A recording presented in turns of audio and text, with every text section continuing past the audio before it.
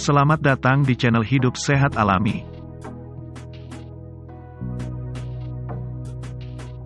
Pada kesempatan ini kami akan membahas mengenai tujuh obat alami untuk redakan sakit flu.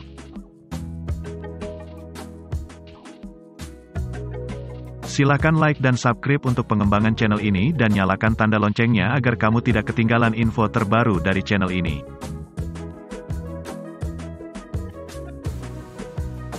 Gejala flu biasanya muncul 1-3 hari setelah terpapar virus flu. Gejala yang paling sering dialami penderitanya adalah pilek, hidung tersumbat, batuk, demam, sakit tenggorokan, dan bersin-bersin.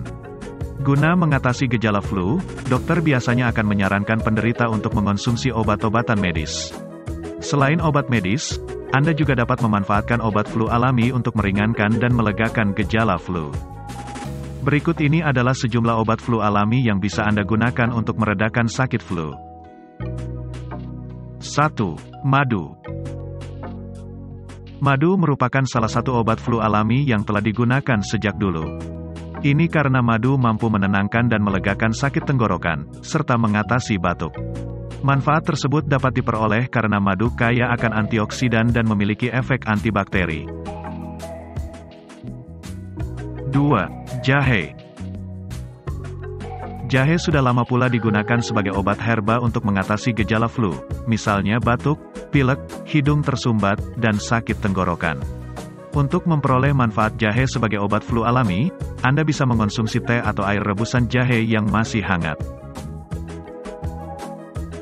3. Ginseng Salah satu jenis ginseng, yaitu Panax quinquefolius, juga bermanfaat sebagai obat flu alami. Manfaat tersebut berasal dari senyawa ginsenoside di dalamnya yang bisa memperkuat sistem imun dan mempercepat proses penyembuhan flu. 4. Bawang putih sebuah studi menyatakan bahwa konsumsi bawang putih atau suplemen yang mengandung bawang putih selama 12 minggu dapat mencegah seseorang terkena flu dan mempercepat masa penyembuhan. Namun, manfaat tersebut masih perlu diteliti lebih lanjut.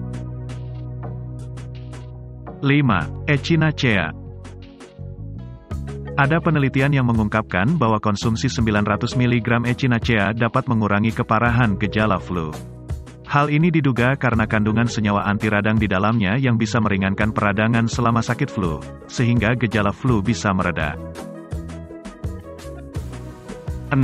Elderberry Senyawa antosianin pada elderberry berhasiat untuk memperkuat sistem imun dan mencegah seseorang mudah terinfeksi oleh virus flu. Selain digunakan sebagai obat flu alami, elderberry juga dapat digunakan sebagai obat alami untuk mengatasi gejala dari infeksi sinus. 7. Astragalus Sebuah penelitian mengungkapkan bahwa senyawa flavonoid pada akar dan daun tanaman astragalus dapat mencegah infeksi virus penyebab flu. Astragalus juga dapat memperkuat sistem imun tubuh untuk melawan virus, sehingga kerap digunakan sebagai obat flu alami. Tak hanya ketujuh jenis obat flu alami di atas, masih ada banyak obat flu alami yang bisa digunakan untuk mengatasi keluhan akibat flu. Misalnya, daun sambiloto, daun time, daun sage, dan cengkeh. Meski manfaat obat flu alami mampu meredakan gejala, Anda tetap disarankan menggunakan obat tersebut dalam jumlah yang wajar. Ini karena penggunaan yang terlalu banyak bisa saja berisiko menimbulkan efek samping. Selain itu, studi yang menyatakan tentang keamanan obat flu alami untuk penderita penyakit tertentu juga sangat terbatas.